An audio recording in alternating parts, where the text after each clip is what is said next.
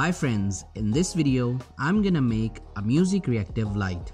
These lights turn on and off when there is a sound. This is a very interesting project. I hope you're gonna like this. So without further ado, let's start this video. This video is sponsored by JLC PCB, which is one of the largest PCB manufacturing company of China. First, I've created the schematic diagram of the project. Then I created PCB layout and generated Gerber files and upload them to JLC PCB website. After that, I have selected all the required parameters such as dimension, quantity, color, and a few more options. After that, I click on save to cart. This will send our project into shopping cart. Then I click on checkout securely. Then I add my shipping address and select my desired shipping and payment method. After a few days, I have received the PCBs. Let's open up the parcel and look at the PCBs.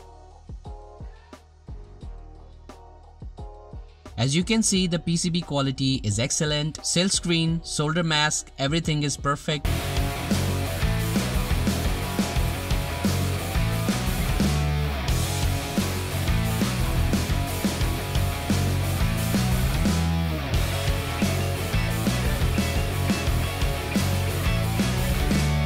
First, I'm gonna connect Arduino Nano. After that, I'm gonna connect 11 LEDs and connect their negative pins to ground and their positive pins to pin D2, D3, D4, D5, D6, D7, D8, D9, D10, D11 and D12 of Arduino.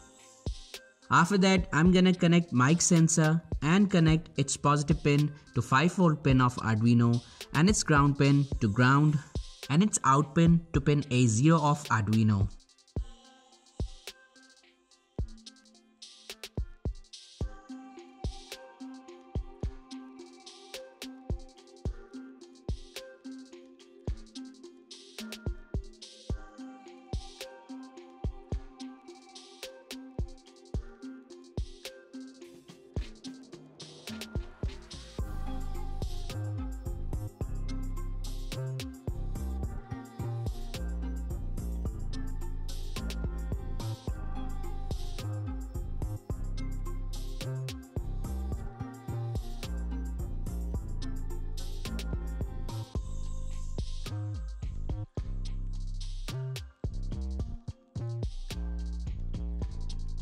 So we have done all the connections. Now let's upload the code to the Arduino and test the project.